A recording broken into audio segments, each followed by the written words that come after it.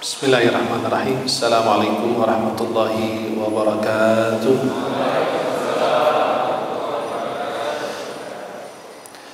Alhamdulillahi rabbil alamin. Wassalatu wassalamu ala asyrafil mursalin sayyidina wa maulana Muhammadin wa ala alihi wa sahbihi ajma'in. Asyhadu an la ilaha illallah wahdahu la syarika lah al-malikul haqqil mubin. Asyhadu anna sayyidana Muhammadan abduhu wa rasuluh. اللهم صل وسلم وبارك عليه وآله وأصحابه ومن تبعهم بإحسان إلى يوم الدين وعلينا معهم برحمتك يا أرحم الراحمين Para jemaah dimuliakan Allah, saya mencintai kalian semua karena Allah. Semoga dipertemukan di dunia dalam taat dan di akhirat di surga Allah Subhanahu wa taala. Senang sekali di malam hari ini berjumpa dengan para penghuni surga Allah. Semoga pertemuan kita ini berlanjut sampai surga Allah Subhanahu wa taala. Para jemaah yang dimuliakan Allah melanjutkan pembahasan seputar Syiah. Alhamdulillah hadir bersama kita Habib Umar bin Idrus bin Husain Alatas beliau ya keluarga ya dari awal datang ke Indonesia saya mengenal abahnya beliau menjadi guru menjadi orang tua saya di Indonesia dan uh, beliau telah wafat menghadap Allah. Kita doakan beliau ditempatkan dalam surga di Allah Subhanahu wa taala. Dan Habib Umar beserta keluarga diberikan kemudahan, kelancaran dan keberkahan. Dan seluruh jamaah yang hadir di malam hari ini khususnya ada anak muda bertanya tadi ini siapa? Ada nggak yang nanya tadi? Yang sebelahnya lagi bertanya sama sebelahnya benar nggak? Betul nggak? Benar kan? Ini Habib Umar bin Idrus bin Husain al-Attas ya. Nah, para jemaah yang dimuliakan Allah Subhanahu wa taala. Melanjutkan pembahasan kita seputar Syiah. Di salah satu pemahaman dan keyakinan Syiah ada yang namanya nikah mut'ah atau kawin kontrak. Giliran kawin kontrak ramai masjidnya. Giliran bahas nggak ada yang datang. Ya, karena beberapa hari lalu diangkat masalah Syiah di TV One, kemudian salah satu tokoh Syiah karena dia juga tidak bersembunyi lagi namanya Husin Syahab. Ya, salah satu tokoh Syiah di Indonesia. Dia menjelaskan bahwa nikah mut'ah itu ada. Sampai sebelumnya itu wawancara dengan wanita, eh, beliau mengatakan bahwa kawin kontrak itu ada. Tetapi syaratnya berat. Nanti kita lihat juga syaratnya seperti apa.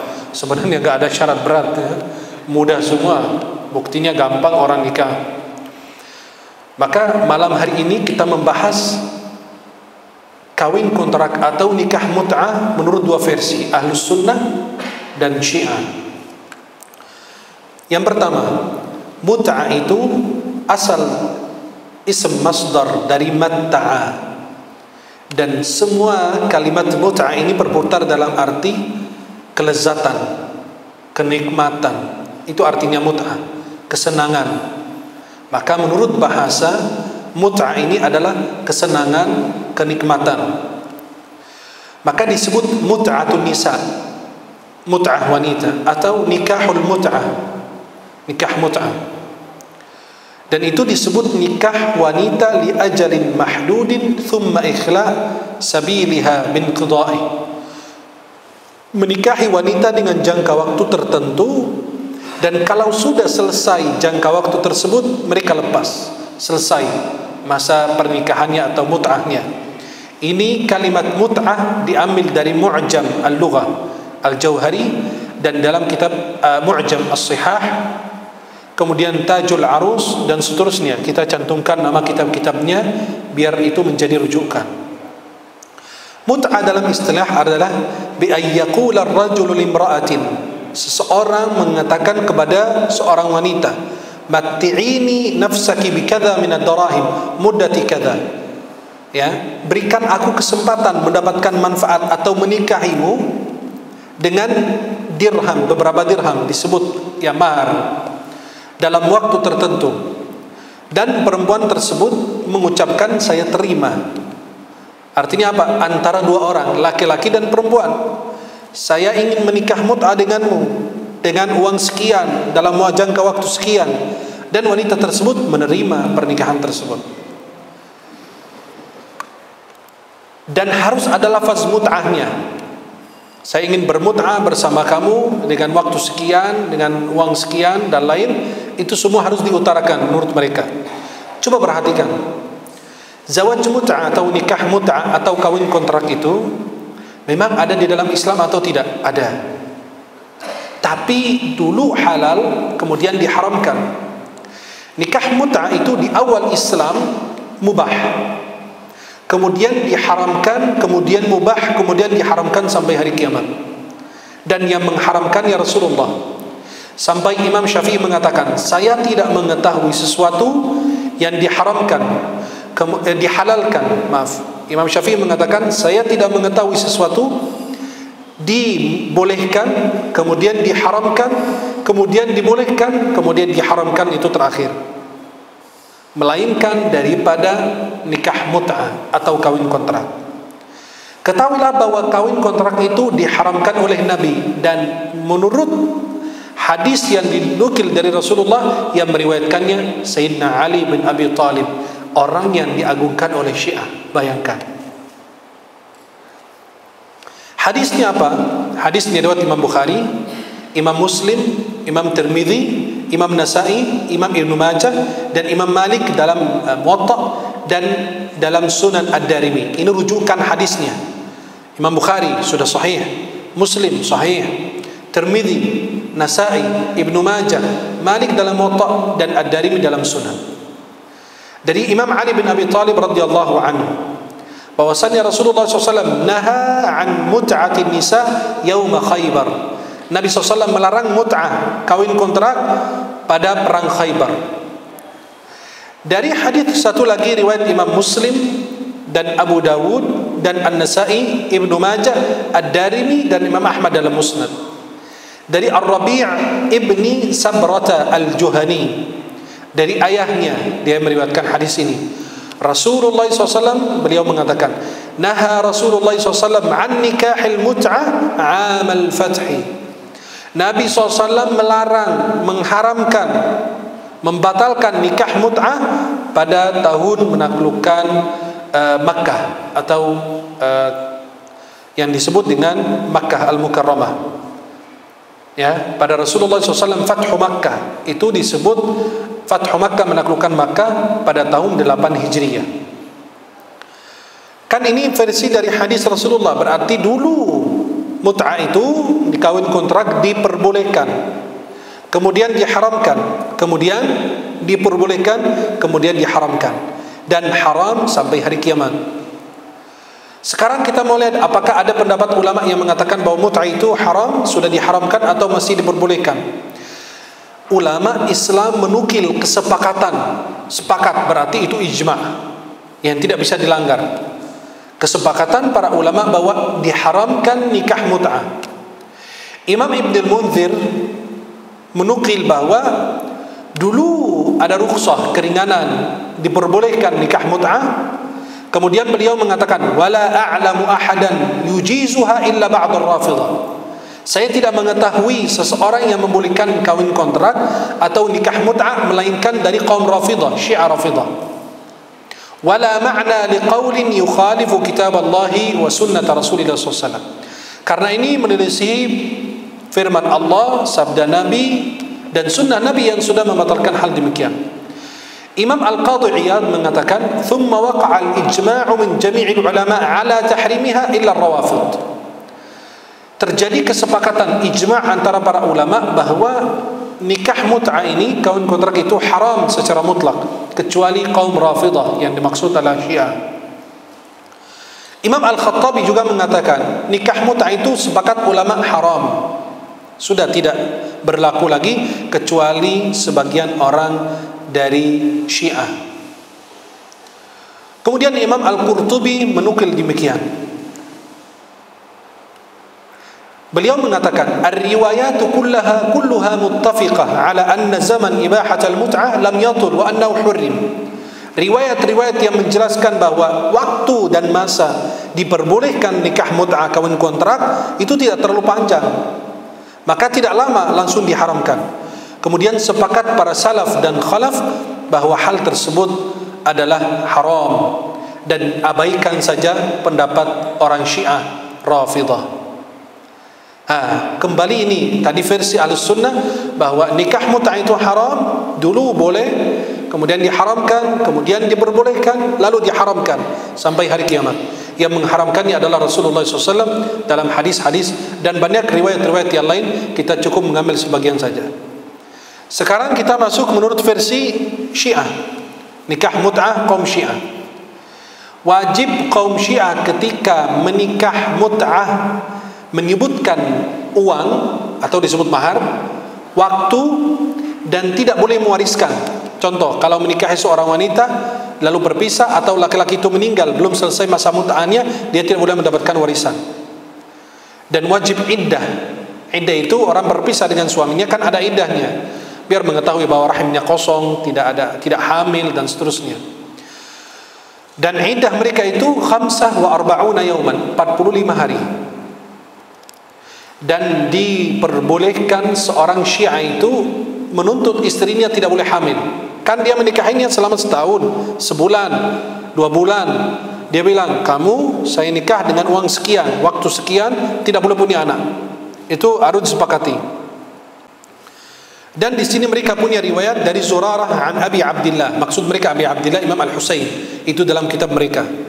La takunul mut'atu illa bi amrain. Mut'ah itu tidak berlaku kecuali dua hal ajal musamma wa ajru musamma. Waktu yang ditentukan dan uang yang sudah diatur dan ditentukan. Itu dalam kitab Al-Furu' Imam Al-Kulaini salah satu ulama mereka dan Al-Kitab Al-Wasail.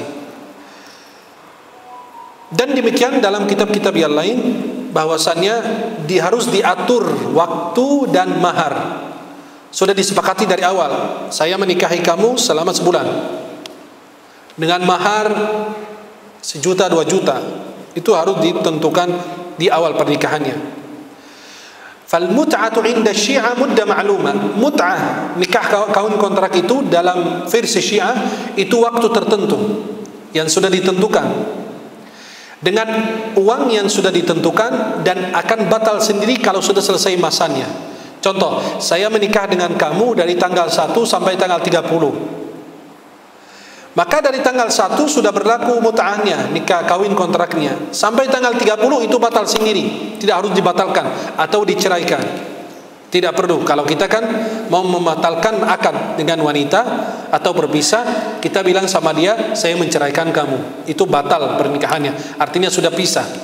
Tapi kalau kawin kontrak itu waktu yang sudah ditentukan kalau sudah habis masanya selesai, sudah pisah. Dan mereka menyampaikan hal demikian di dalam riwayat-riwayat mereka yang sudah diriwayatkan.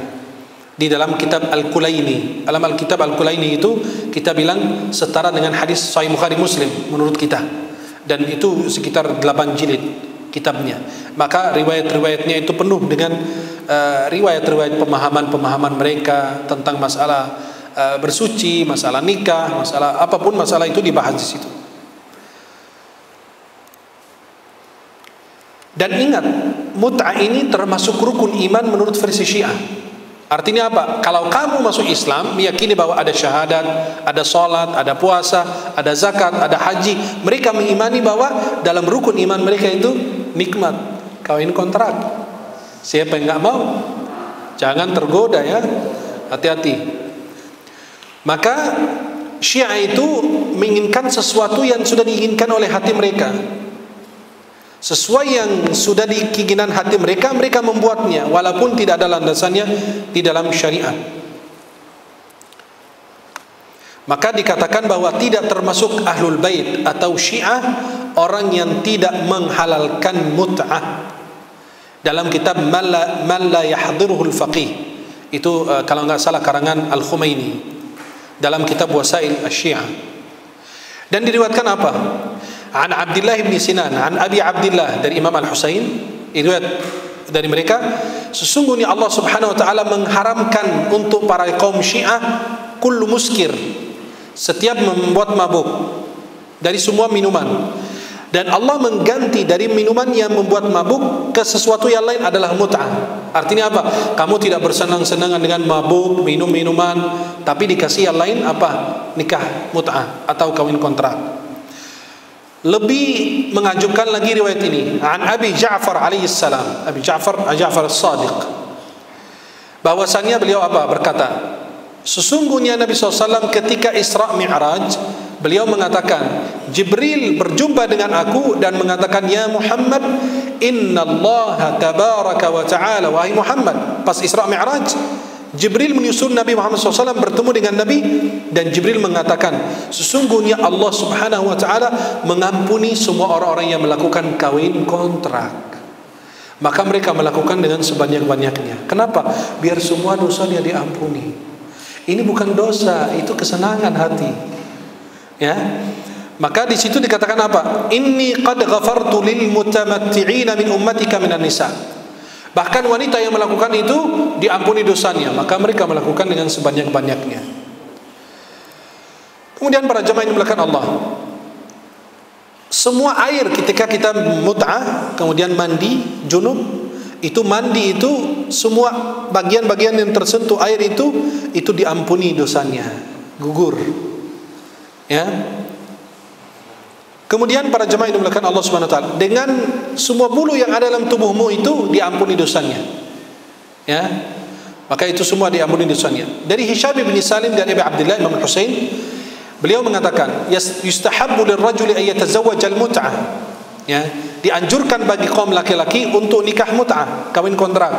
Wa ma uhibbu lirrajuli minkum an yakhruja min ad-dunya hatta yatazawwal al-mut'ah walau marrah. Saya tidak senang orang di antara kalian meninggal dunia laki-laki kecuali dia sudah pernah walaupun sekali kawin kontrak.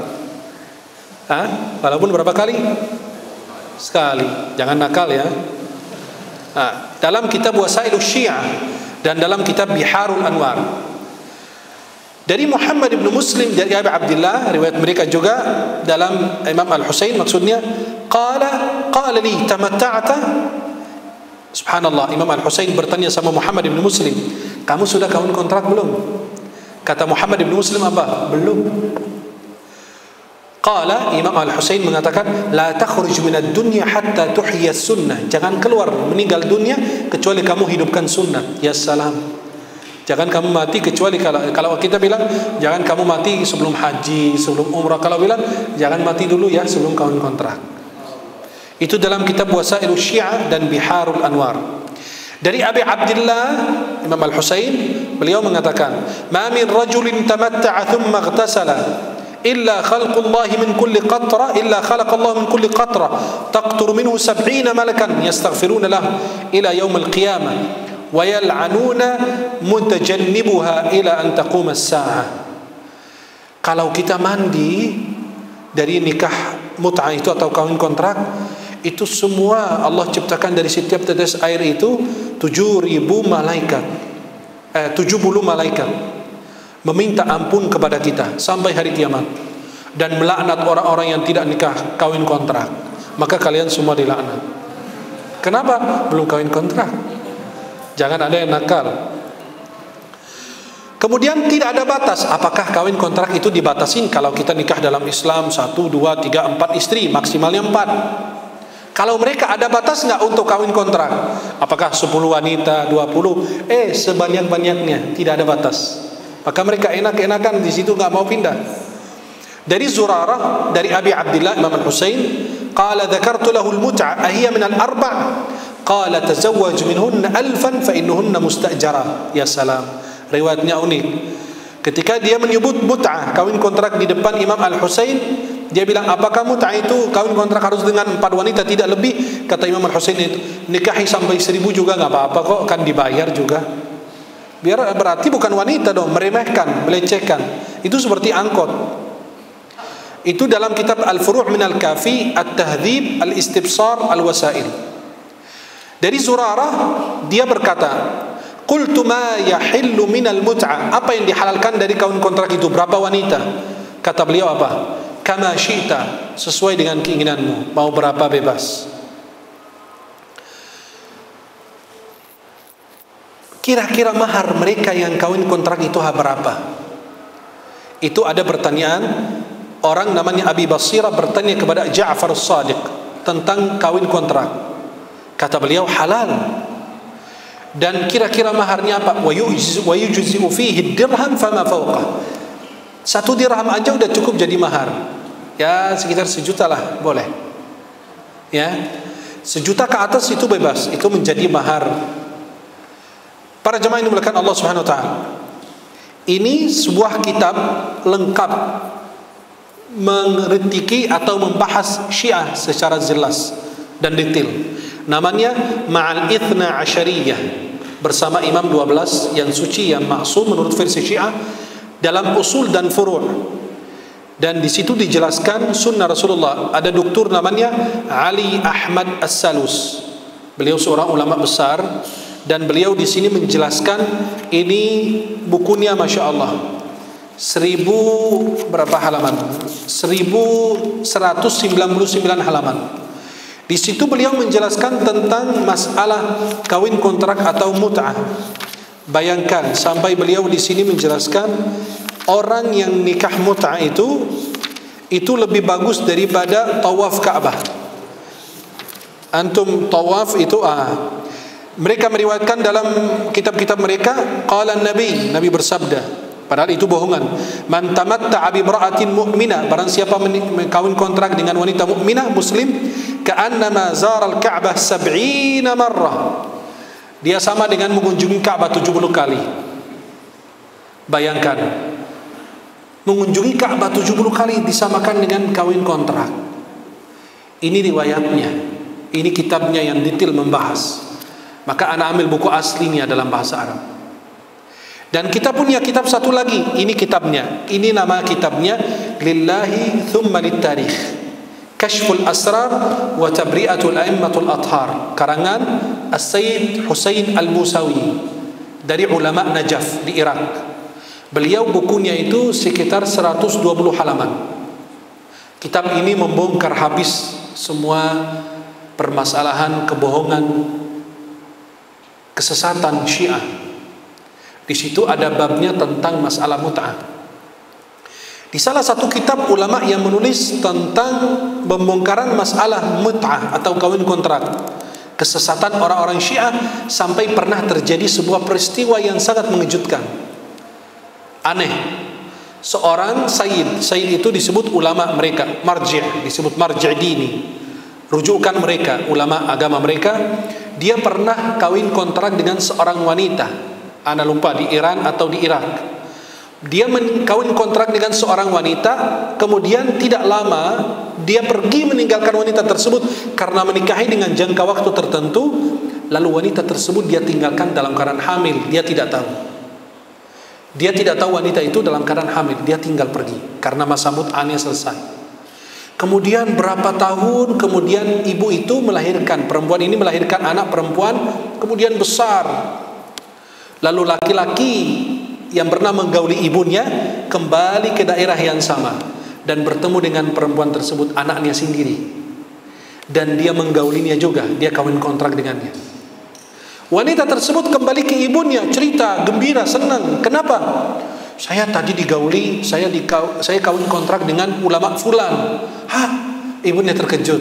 Kamu tahu ini siapa? Siapa? Ayah kamu. Segitunya kenapa? Nasab itu berantakan.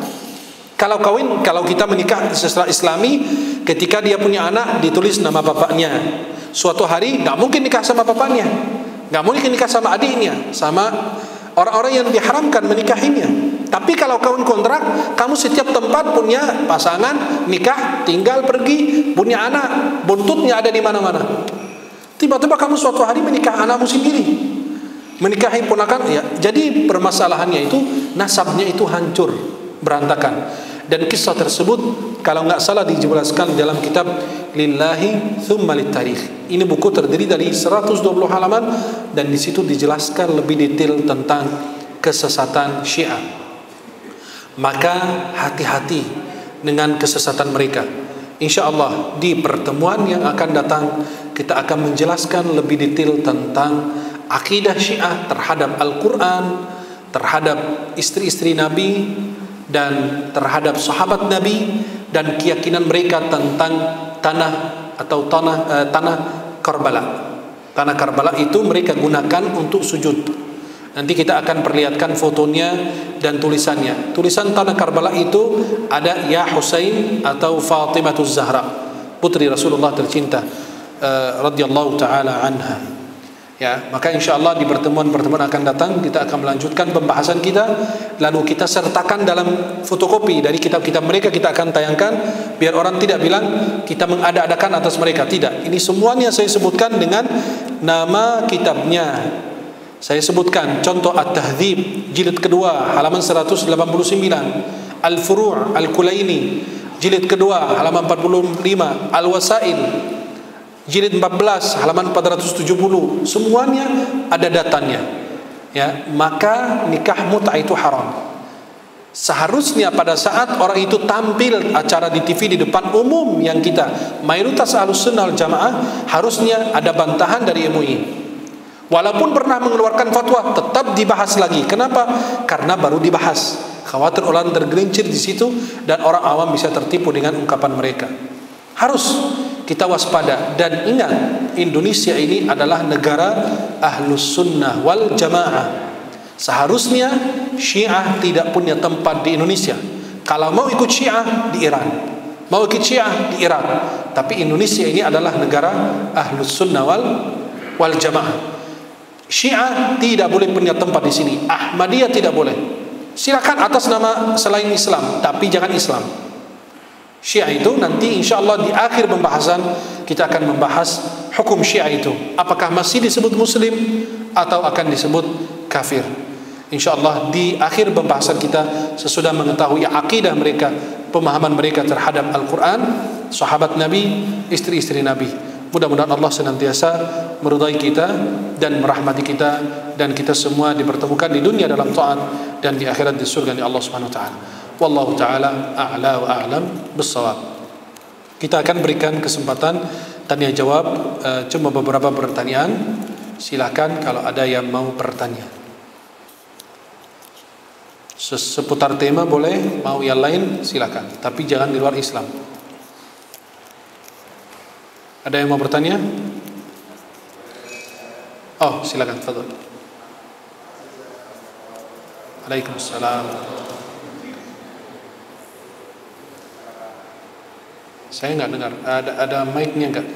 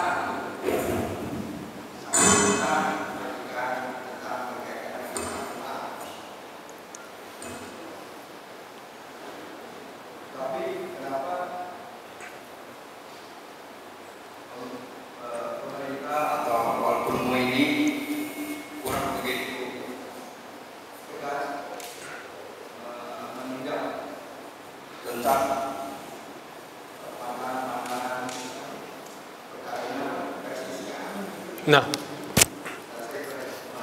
sebenarnya gini, nikah itu dalam Islam itu alat ta'bid walaysa alat ta'qid. Nikah itu untuk selamanya, bukan sementara. Walaupun terjadi di pertengahan uh, hidup itu sesuatu hal yang menyebabkan perceraian, tetapi tidak dikehendaki dari awal. Memang awalnya menikah untuk seterusnya.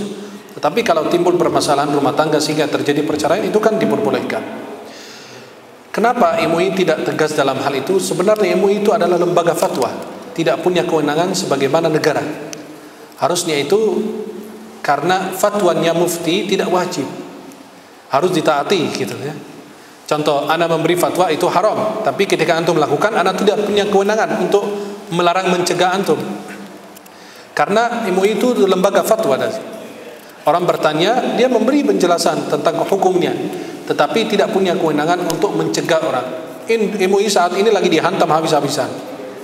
Ya, masalah sertifikasi dai gitu ya. ya apalagi good looking itu katanya orang kalau masuk masjid harus gembel. Nggak harus pakai yang bolong-bolong. Yang ada tambalan-tambalannya. Ya. Tidak boleh yang rapi-rapi itu masuk masjid. Kalian ini semua radikal yang rapi-rapi itu nggak bagus para penghafal Quran juga itu kan jadi sayang sekali. Harusnya itu dari Kementerian Agama bergerak dalam hal tersebut untuk mencegahnya. Karena yang menerbitkan atau negara sebenarnya dia punya kewenangan untuk mencegah perkawinan demikian. Kenapa? Karena kita memberikan peluang. Ada satu daerah di sini yang banyak kita tahu orang menikah kawin kontrak di situ. Kenapa nggak dicegah kan negara bukan MUI MUI itu cuma hanya fatwa ulama doang tapi ketika ulama memberi fatwa kadang-kadang tidak ditaati oleh ulil amri. Itu yang disayangkan. Maka kita doakan diberi hidayah oleh Allah. Ya. Allahu a'lam uh, silakan ada bertanya lagi? Silakan. Silakan Pak Haji Komar. Masya Allah. Assalamualaikum warahmatullahi wabarakatuh.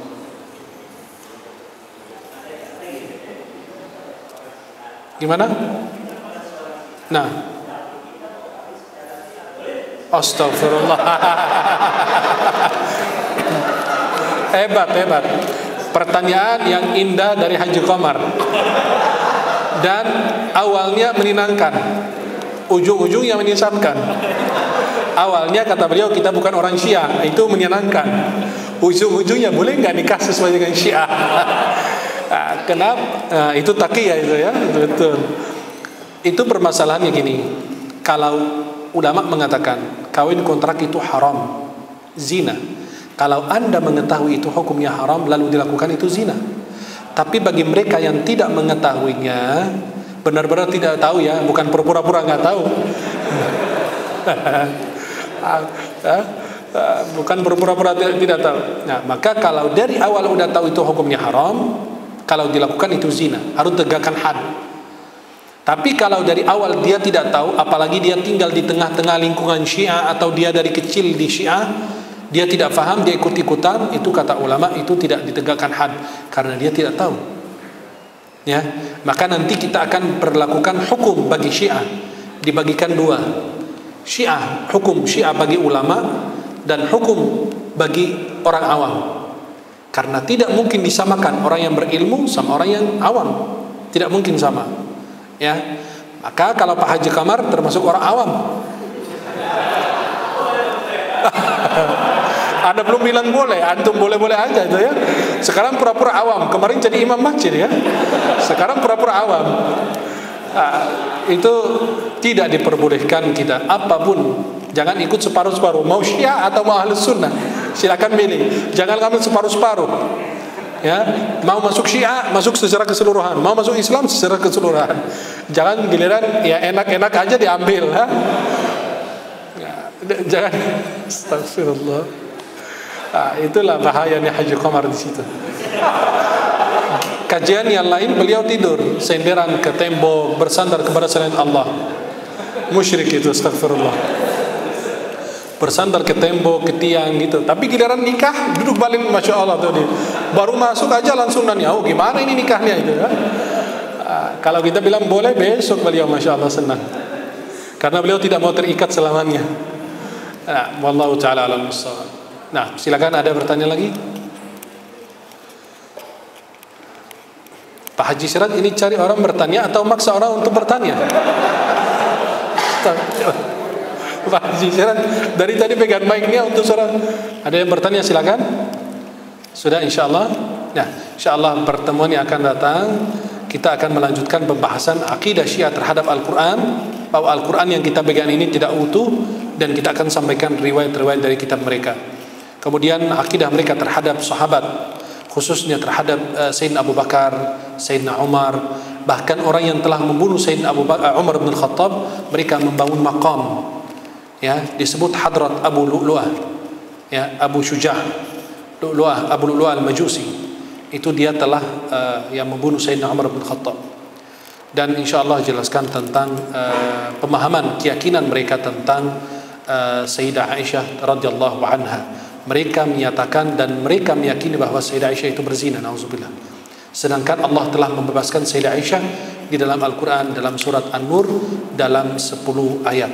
Insya Allah mungkin pertemuan yang akan datang itu lebih seru lagi karena di situ dijelaskan akidah mereka yang sebenarnya seperti apa. Mudah-mudahan Allah selamatkan kita semua dan mudah-mudahan yang saya sampaikan ada manfaat. Aku qawli hadza wa astaghfirullah li wa lakum. Subhanakallahumma wa bihamdika asyhadu an la ilaha anta astaghfiruka wa atubu ilaik. Assalamualaikum warahmatullahi wabarakatuh.